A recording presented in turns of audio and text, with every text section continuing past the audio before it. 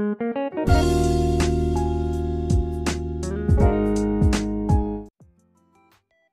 family welcome back to our channel कैसे हैं आप सभी? और आज का दिन है दुर्गा अष्टमी का तो आप सभी को दुर्गा अष्टमी की बहुत सारी शुभकामनाएँ। माता रानी आप सभी पर अपनी कृपा बनाए रखें। इसी मनोकामना के साथ शुरुआत करते हैं आज के दिन की। सुबह की क्लीनिंग वगैरह मेरी कंप्लीट हो गई है, मैंने नहा के पूजा भी कर ली है, लेकिन अभी तक पूजा करने के बाद मैंने भोग नहीं लगाया है। मैं माता रानी का भोग बनाने के लिए आई हूँ किचन में, और आज मैं भोग में लगाऊँगी माता रानी को काले चने सूजी का हलवा और पूड़ी। तो यहाँ मैं पूड़ी बनाने के लिए आटा गूँथ के रख रही हूँ।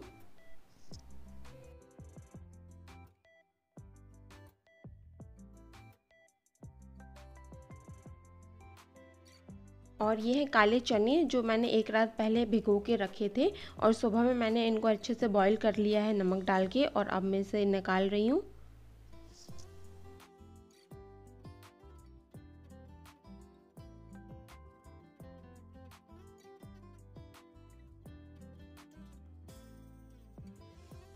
और यहाँ पे मैं तैयारी कर रही हूँ पूड़ियाँ बनाने की।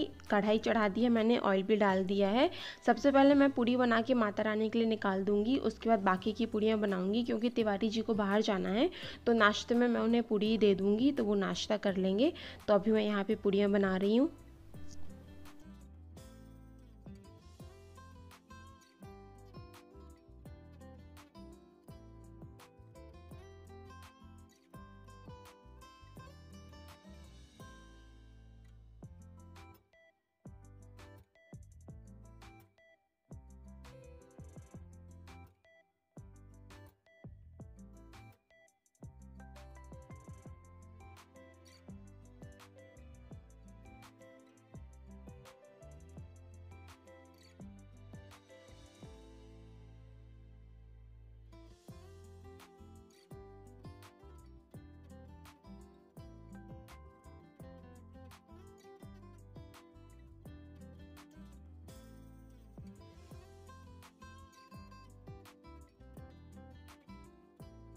और पुड़ियाँ बनाने के बाद अब मैं तैयारी कर रही हूँ यहाँ पे चने बनाने के लिए। काले चने बनाऊँगी अब मैं तो उसके लिए मैंने कढ़ाई चढ़ा दी है एक साइड पे। और काले चने बनाने के लिए हमें कुछ पाउडर मसाले चाहिए, अमचूर पाउडर, हल्दी पाउडर, धनिया पाउडर और लाल मिर्च पाउडर।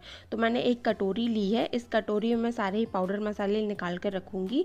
सबसे पहले लिया है मैंने अमचूर पाउडर एक चम्मच के करीब, और इसके बाद लिया है मैंने हल्दी पाउडर एक चम्मच। और चने में हमेशा धनिया पाउडर ज़्यादा जाता है, इसलिए मैंने दो बड़े चम्मच भर के लिए धनिया पाउडर। और इसके बाद मैं लूँगी लाल मिर्च। ये कश्मीरी लाल मिर्च है, जो कि कलर के लिए थोड़ा सा ऐड किया है मैंने। हल्की सी लाल मिर्च ऐड की है। और अब मैं इसमें पानी डाल के इसको थोड़ी देर के लिए फूलने के लिए रख दूँगी।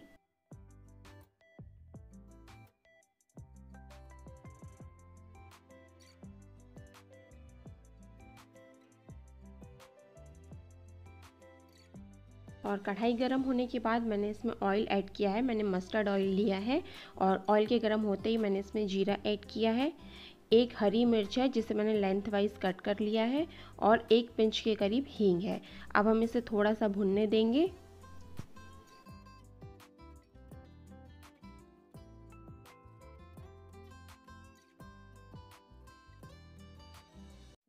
और जैसे ही जीरा चटकने लगेगा तो ये जो पाउडर मसाले हमने भिगा के रखे थे, ये ऐड कर देंगे। और अब हमें इसे मसाले को थोड़ा सा पकाना है, जब तक ये थोड़ा सा थिक नहीं हो जाए। जैसे ये पकने लगेगा थोड़ा सा थिक हो जाएगा तो इसके साइड साइड से जो है, वो ऑयल निकलने लगेगा। ये देखिए, मसाला जो है, वो थोड़ा सा थिक होने लगा है।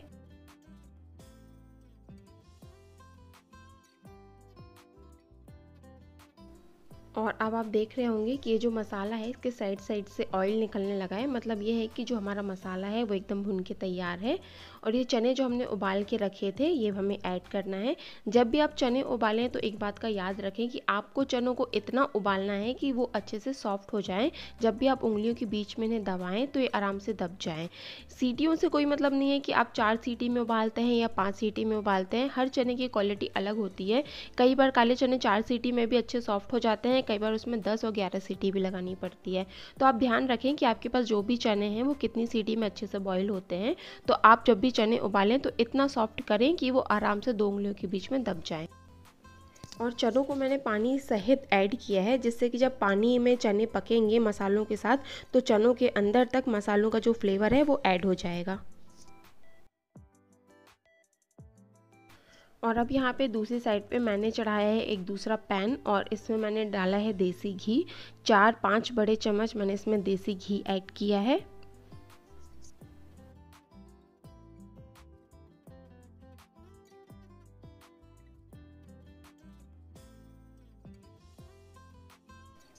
और जैसे ही घी मेल्ट हो गया है, मैंने इसमें एक कटोर से थोड़ा कम सूजी ऐड की है और अब हमें सूजी को अच्छे से चलाते हुए भूनना है।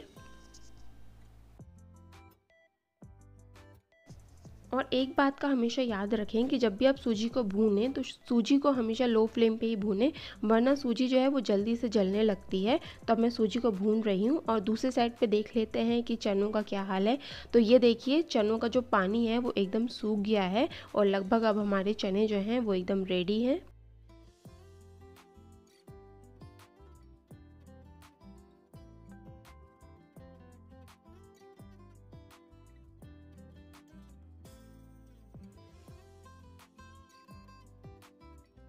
यहाँ पे जैसे ही सूजी का कलर चेंज होने लगा है तो मैंने इसमें दो चम्मच के करीब बेसन ऐड किया है।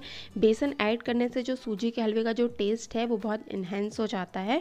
तो आप भी जब भी सूजी का हलवा बनाते हैं तो उसमें बेसन ज़रूर ऐड कीजिएगा। और मैं बेसन ऐड करने के बाद इसमें थोड़ा सा घी और ऐड कर रही हूँ, और अब मैं इसे अच्छे से भूनूँगी, जब तक ये गोल्डन ब्राउन नहीं हो जाता। और ये देखिए, सूजी अच्छे से हमारी भुन गई है, ब्राउन लग रही है। तो अब मैं इसमें पानी ऐड करूँगी।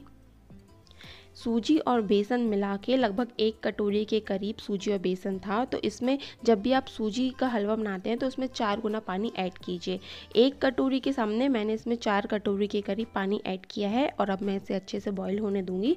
तब तक कि सूजी अच्छे से फूल नहीं जाती और पानी सूख नहीं जाता।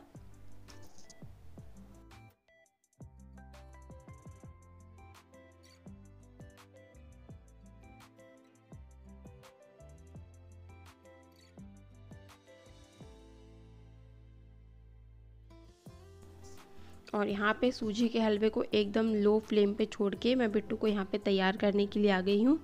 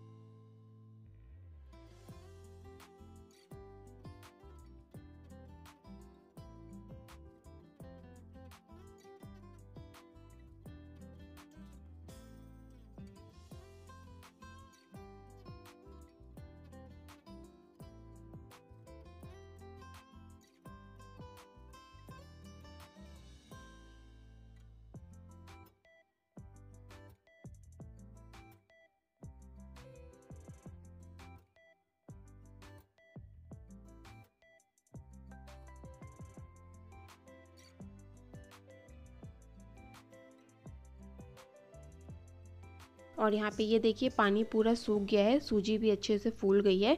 तो अब हम इस स्टेज पे चीनी ऐड करेंगे। एक कटोरी के करीब सूजी मैंने ली थी तो एक कटोरी के करीब ही मैंने चीनी ऐड की है इसमें। अगर आप ज़्यादा मीठा खाना पसंद करते हैं तो आप एक कटोरी से थोड़ा सा ज़्यादा चीनी ऐड कीजिएगा। अगर आप थोड़ा कम खाना पसंद करते हैं चीनी तो आप थोड़ी कम ऐड कीजिएगा। मैंने यहाँ पर चीनी इतनी ऐड की है, जितना कि मेरे घर में पसंद किया जाता है।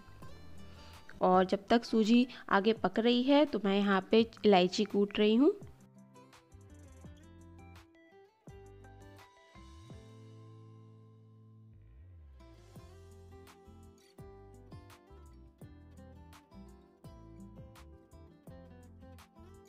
और अब यहाँ पे मैं इलायची ऐड कर रही हूँ। इलायची डालने के बाद मैं इसे अच्छे से मिक्स कर दूँगी। जब भी आप कुछ मीठा बनाते हैं तो उसमें इलायची ज़रूर ऐड कीजिएगा स्पेशली हलवे वगैरह में, क्योंकि इसमें इलायची का फ्लेवर जो है, वो बहुत ही अच्छा लगता है।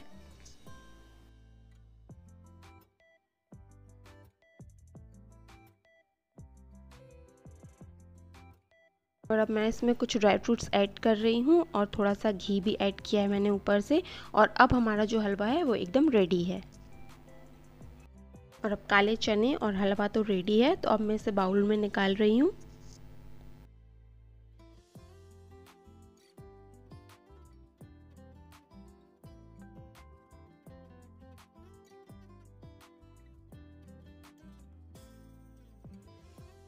और इसके बाद मैंने बिट्टू को खाना खिलाया। थोड़ी देर वो खेल रही थी और खेलते खेलते फिर वो सो गई।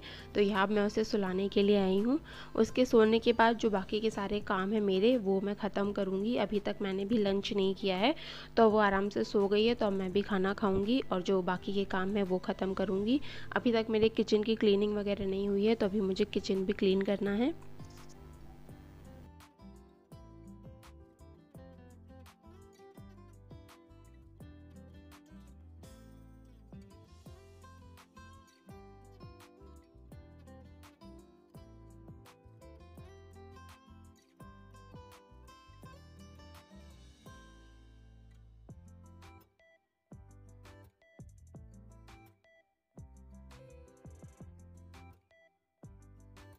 और अब जो मेरी किचन की क्लीनिंग वगैरह थी, वो तो लगभग डन है। घर के सारे ही काम हो गए हैं और अब टाइम है मेरे लंच करने का। पता नहीं क्यों मेरी ऐसी आदत है कि जब तक मेरे घर के सारे काम नहीं हो जाते स्पेशली क्लीनिंग अगर किचन गंदा पड़ा हुआ है तो तो मैं खाना खा ही नहीं सकती। पता नहीं ऐसी आदत क्यों है? अगर आपके साथ भी ऐसा ही होता है तो प्लीज़ कमेंट बॉक्स पर कमेंट करके ज़रूर बताइएगा।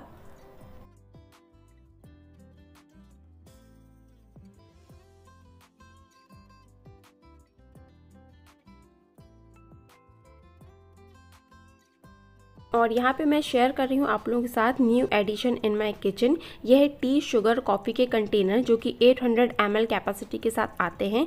इसकी जो लेड है वो एयर टाइट है। इसके चारों तरफ़ रबड़ लगी हुई है। तो क्वालिटी वाइज तो ये काफ़ी अच्छे हैं। इन्हें मैंने अमेज़ोन से परचेज़ किया है। अगर आप भी इंटरेस्टेड हैं तो कमेंट करके ज़रूर बताइएगा। वैसे मैं इसका लिंक जो है वो डिस्क्रिप्शन बॉक्स में दे दूँगी। आप चेक कर सकते हैं।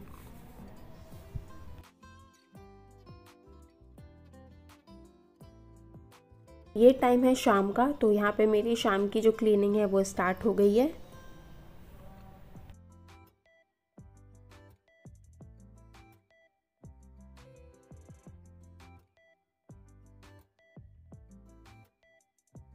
शाम के टाइम में जो भीनी भीनी सी खुशबू होती है, वो आपको एक पॉजिटिव एनर्जी देती है। ये है एक अरोमा डिफ्यूज़र आप इसे ऑयल डिफ्यूज़र भी कह सकते हैं। मैंने इसके अंदर थोड़ा सा पानी डाला है और इसके अंदर ऐड किया है कपूर। आपके पास अगर कोई भी ऑयल हो एसेंशियल ऑयल हो तो आप वो ऐड कर सकते हैं। मेरे पास लेवेंडर और रोज़ है, लेकिन आज मुझे मन था कि मैं कपूर डालूँ, इसलिए मैंने कपूर डाला है। और इसके बाद यह है छोटी सी टी लाइट कैंडल है ये, इसे मैं जला के इसके अंदर प्लेस कर दूँगी।